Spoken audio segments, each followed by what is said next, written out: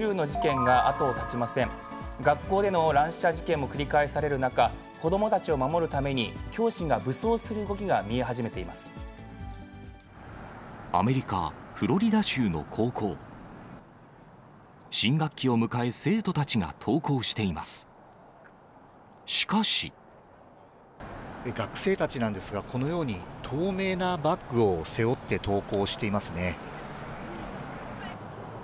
なぜ透明のバッグなのでしょうか？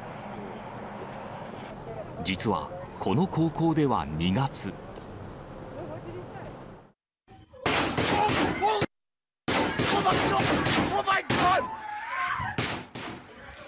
19歳の元生徒が校内で銃を乱射。17人が犠牲になりました。事件を受け学校は生徒の持ち物が見える透明のバッグを使うよう義務付けたのです。気分が悪いわ。私たちは何もしていないのに。生徒からは不満の声も。高校での事件をきっかけにアメリカで銃規制の議論がかつてないほど高まっています。中でも今回の事件で使われたあるライフル銃の販売を禁止すべきとの声が上がっています私たちはその銃を見てみることにしました。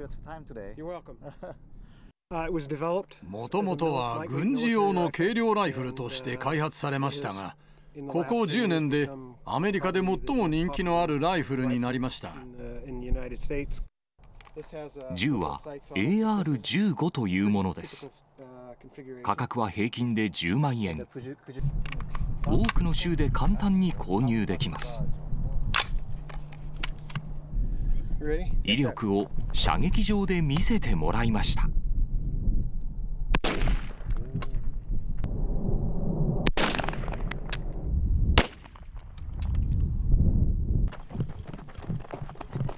あこちら今貫通してますね。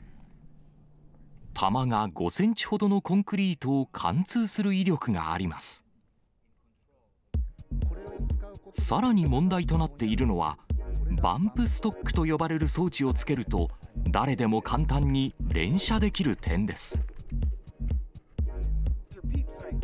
本当に簡単に扱えるのかこの装置や銃の使用が法律で認められているアリゾナ州で記者が専門家の指導のもと検証しました。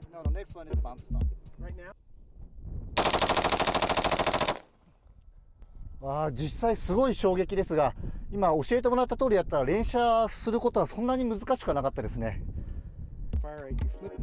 ライフル AR15 はバンプストックを装着するだけで1秒間におよそ10発も連射できるため乱射事件につながると問題視されています。しかしトランプ大統領はバンプストックについては禁止を決めましたが殺傷能力の高い銃そのものの規制には慎重な姿勢ですそして学校での対策としてこんな考えを.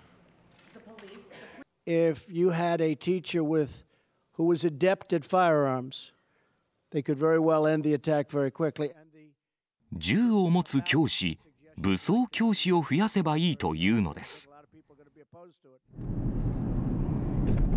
武装教師とはどういったものなのでしょうか？取り組みを始めている学校を訪ねました。こ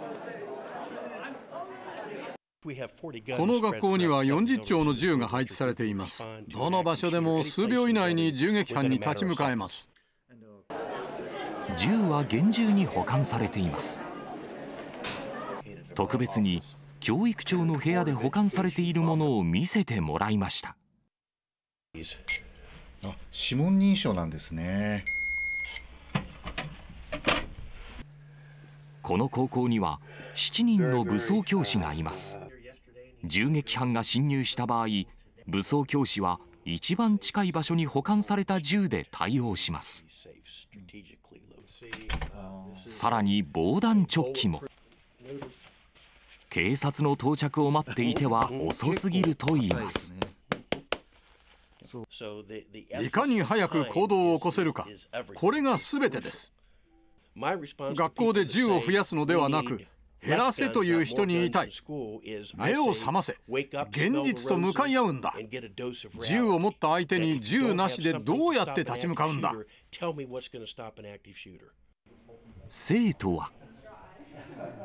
私は銃を触りたくもないし、近くに寄りたくもない。でも、銃を持った誰かが守ってくれることで安心できます。